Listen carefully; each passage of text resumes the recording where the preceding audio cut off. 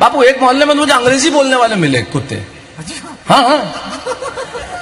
वो हमारे अंग्रेज़ी के प्रोफेसर थे, उनके पाले हुए थे आसपास के।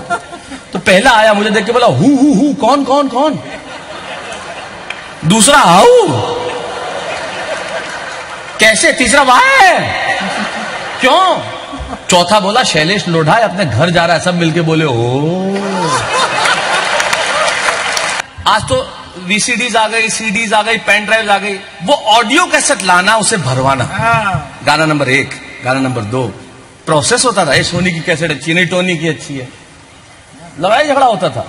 और कभी टूट जाए ना उलझ जाए ना तो बॉल पेन फंसा के उसे फिर से सुलझाना। और कभी टूट जाए तो खोल के चिपकाना पूरा प्रोसेस ये पंखा धीरे कर उड़ रही है। और चिपकने में कभी ऑब्जर्वेशन देखना जमनी साहब विष्णु जी अगर चिपकने कभी उल्टी भी चिपक जाए ना तो उसका भी मज़ा उठाना कैसा अक्सर उल्टी चिपक जाती थी अपने को आप और उल्टी में भी मज़ा देती थी तो मज़ा लेते ज़िंदगी की न टूटे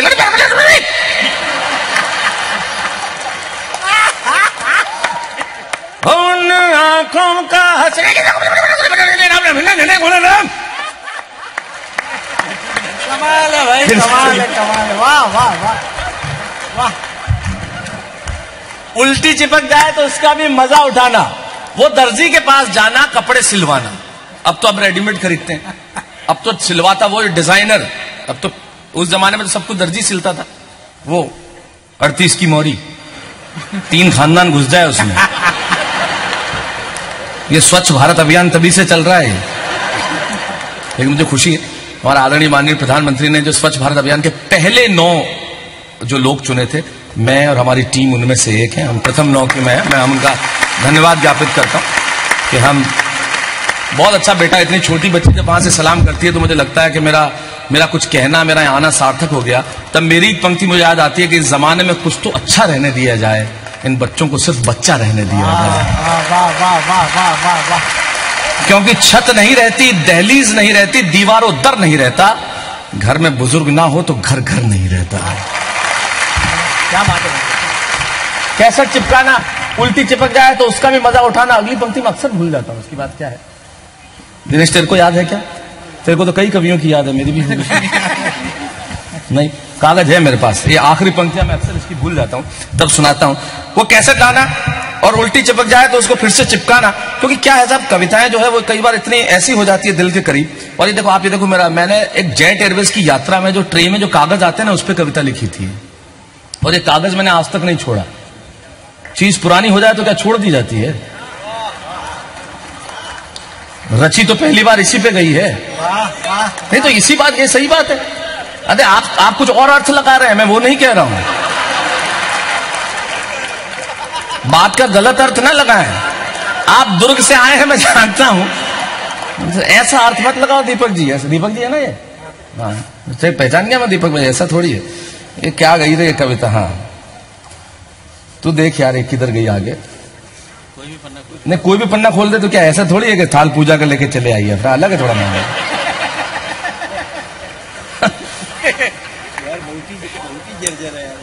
हाँ जर्जर तो जर्जर रहनी चाहिए, ये संस्कृति है।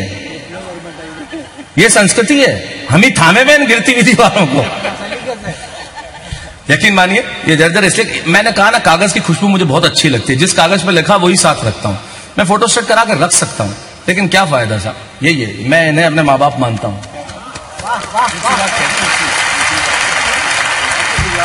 मैं पिछले दिनों एक कार्यक्रम में गया। एक धर्म का कार्यक्रम था, बापू, मुझे बहुत कहा गया, आप धर्म पे कविताएँ सुनाइए। मैंने नहीं सुनाई साहब। मैंने कत नहीं कोई दिक्कत नहीं। मैंने कप, कतई नहीं सुना इसलिए नहीं सुनाई कि मैंने सिर्फ़ एक वाक्य कहा कि मैं धर्म पर कविता इसलिए नहीं करता क्योंकि कविता मेरा धर्म है।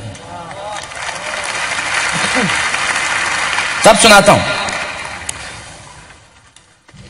वो ट्रेन में हाँ वो ऑडियो कैसे भरवाना, गाने को फिर से भरवाना, छत पे जाना एंटीना सिलाना, वो लाइब्रेरी में जाकर अखबार देखना, सर्दियों में अंगीठी के पास हाथ सेकना, वो ट्रेन में अपना बिस्तर साथ ले जाना, साथ लाया हुआ खाना, खुद भी खाना, साथ वाले को भी खिलाना, उस जमाने को याद कीजिए साहब, हम खाना लेके जाते थे, थोड़ी देर में पूरा एक डब्बा परिवार हो जाता था, आज जगह जगह लिखा है, अनजान आदमी के हाथ से न खाएँ। जहर हो सकता है।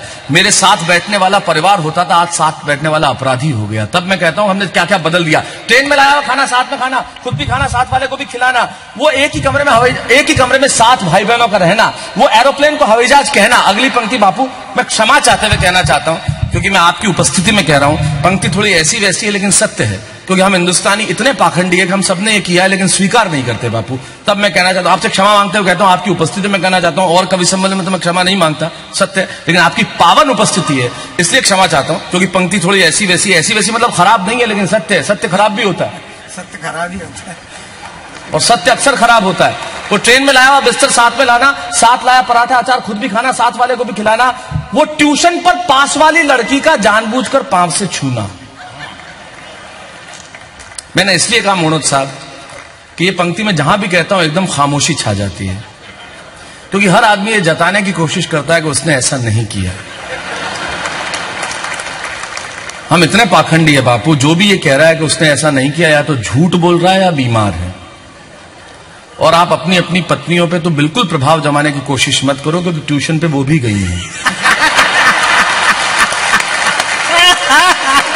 बहुत अच्छे बहुत अच्छे सत्य है ये। ट्यूशन में पा, इतने पाखंडी होते हैं हम लोग बापू। मैं बस में जा रहा था एक आदमी बैठा उसके पास में खाली सीट। एक बेचारा भद्र पुरुष आया। बोले खाली नहीं सवारी। बेचारा चला गया। दो मिनट बाद एक खूबसूरत सी महिला आई शबीना जी और उसने आके कहा सीट हाँ। तुरंत वही पुरुष लौट के आया मोनोद साहब बोले यही है आपकी सवारी? मेरी वाइफ है। क्या पाखंड है। मैंने कहा था चला जा साला सीट दे देगा।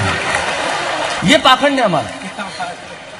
वो ट्यूशन पे पास वाली लड़की का जानबूझकर पाँव से छूना वो अपनी साइकिल उसकी खूबसूरत लूना अपनी साइकिल उसकी खूबसूरत लूना। मैं यकीन मानिए मेरा पहला वाहन मैंने लूना लिया था। आज मैं चाहे मर्सिडीज चलाता हूँ चाहे ऑडी चलाता हूँ सत्य कहता हूँ साहब मैं उसके अंदर बैठ के भी लूना ही चलाता हूँ। मैं वहाँ से बाहर आ ही नहीं पाया। वो अपनी साइकिल उसकी खूबसूरत लूना वो रोज मंदिर जाती है इस चक्कर में अचानक आस्तिक हो जाना। वाह वाह वाह। वो रोज मंदिर जाती है इस चक्कर में अचानक आस्तिक हो जाना। वो हर चीज़ खरीद के पहले स्वास्तिक बनाना। वो शादियों में जाने पर वो बिना किसी सामान के घर घर खेलना। वो शादियों में जाने पर पाँच पाँच कोल्ड ड्रिंक उंडेलना। वहीं मिलता था। शादियों में जहाँ कोल्ड ड्रिंक की टेबल वहाँ पर ये देना। दो के बाद जब वो आँख दिखाता था, ए, वो मंगा रहा है। मोहल्ले में कौन सा बोल रही है कोका कोला फेंटा आज के बच्चों को नसीब है हमारे तो पूरे मोहल्ले में आई लव यू रसना। एक बाल्टी पानी, एक पैकेट रसना, डेढ़ किलो शक्कर, पूरा मोहल्ला साफ़।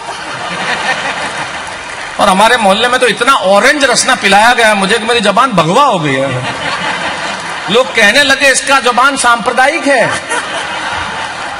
वाह वाह वाह वाह वाह। राजनीति इस तरह से भी बात की जा सकती है कुछ और करने की आवश्यकता नहीं है। बहुत अच्छे क्या बात है। वो शादियों में जाने पर पाँच पाँच कोल्ड ड्रिंक उड़ेलना वो रात में दादाजी के पाँव दबाना और अगली पंक्ति मैंने की है मुझे नहीं मालूम मैं तो आप मैं मुंबई में रहता हूँ आप लोग भी अपने अपने शहरों में रहते हैं मैं गाँव में पला भरा इसलिए अगली पंक्ति का सुख मुझे पता है वो क्या होता है। सुरेंद्र दुबे जी तुमने भी किया होगा तुम भी गाँव में रहे हो। वो और विष्णु तो आज भी सिकंदराबाद में रहता है अपनी धरती पे। ये भी गाँव से निकला। तमाम लोग ये शहर से आया बस, उज्जैन से। नहीं नहीं, वो तो हमारा सबसे प्राचीन शहर है, इसलिए। वो रात को दादाजी के पाँव दबाना, आधी रात को उठकर भौंकते हुए कुत्तों को भगाना। मशादरा में। ये मैंने बहुत किया बापू। घर ने मुझे इसी काम के लिए रखा गया था। मतलब मैं उन्हें कुत्ते बोलते तभी याद आता था। कुत्ते बोले बबलू। बबलू समझ जाता था कि अगली भूमिका के। मेरा उनसे इतना कुत्ताचारा हो गया था। कुत्ता चाह रहा वाह क्यों भाईचारा हो सकता है तो कुत्ताचारा क्यों नहीं हो सकता? क्यों नहीं होना भी चाहिए। आजकल हमारे जितने एनिमल लवर्स हैं मैं उनसे क्षमा चाहते हुए कहता हूँ भाई आप प्यार करो एनिमल से। हमें मजबूर तो मत करो। हमें डर लगता है हम क्या करें? आप ज़रूर प्यार करो। बोले, आप, हम कैसे, हमें डर लगता है हमें सीख- नहीं जमता तो कैसे कर? उनके घर जाओ नहीं काटेगा नहीं, अरे, आपको थोड़ी काटेगा, मैं काटेगा काटेगा। फिर वो आसपास आके घूमता है आपको नाश्ता सामने इधर वो बैठा हुआ। अब मेरा नाश्ते पे ध्यान ही नहीं जावे कैसे पिताजी, ठीक है? घर पे सब ठीक है कुछ ले लीजिए, नहीं नहीं। मेरे चाचा जी के घर पे मैं गया, उन्होंने एक पाली उसका नाम रखा डिम्पी डिम्पी। हाँ डिम्पी लोढ़ा हाँ। देखो देखो देखो भैया आए हैं।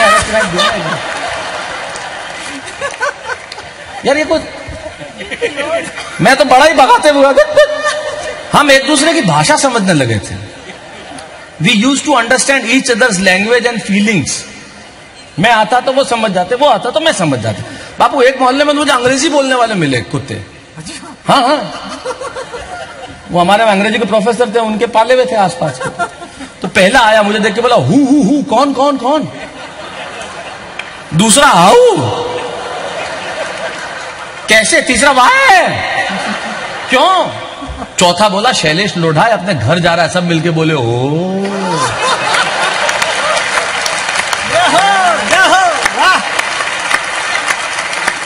वो रात को दादाजी के पाँव दबाना। अब समझ में आया पैसे क्यों लेता हूँ? पैसे लेते हैं। वो आधी रात को उठकर भौंकते हुए कुत्तों को भगाना वो दिवाली पे पटाखे चलाना बहन से लड़ना चोटी खींचना भैया तंग करता है कहकर के रोना फिर भी स्नेह का धागा नहीं खोना। ज़िंदगी में होता क्या था, था? वो कॉमर्स और वो मम्मी का सर्दियों में स्वेटर बुनना।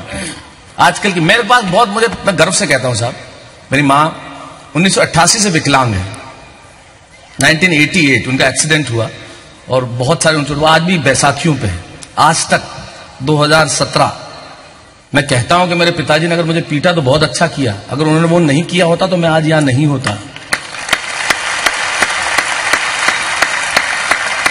मेरी माँ ने मुझे सर्दियों में हर दिन का एक सात दिन के सात स्वेटर होते थे उनके हाथ से बुने हुए सर- उनके हाथ से बुने हुए स्वेटर में मुझे कभी ठंड नहीं लगी। वाह वाह मुझे कभी ठंड महसूस आज भी होंगे शैलेश टोडा कितने बड़े स्टार, कार्यक्रम खत्म हो, मैं दुनिया में कहीं भी हूँ, मेरा पहला फ़ोन उनको होता है, खत्म करने के बाद उनको तो स्टेज से उतरने के बाद पहला फ़ोन उनको होगा, इसलिए होगा कि माँ को पता होना चाहिए कि बेटा कहाँ है। वो मम्मी का सर्दियों में स्वेटर बुनना, वो कॉमर्स और साइंस, दो ही सब्जेक्ट्स में से एक का चुनना, फिक्स था।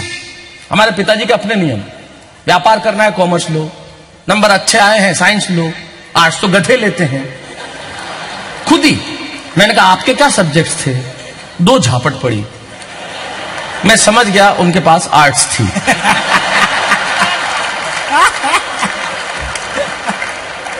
मम्मी का सर्दियों में स्वेटर बुनना, वो साइंस और कॉमर्स दो ही सब्जेक्ट में एक को चुनना, वो बहन से लड़ना, चोटी खींचना, भैया तंग करता है कहकर के रोना, फिर भी स्नेह का धागा नहीं खोना, वो स्लीपर क्लास में धक्के खाते हुए जाना, वो सुराही की मिट्टी की गन के साथ पानी पीना, वो बेलौस, बेफिक्र, मस्त, बेवजह जीना सच सच बताना यार मिस करते हो कि नहीं? सच सच बताना यार मिस करते हो कि नहीं?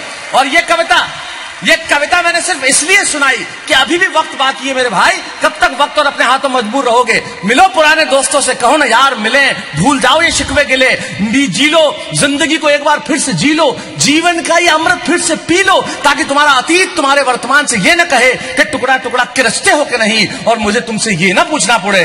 सच सच बताना, यार, मिस करते हो नहीं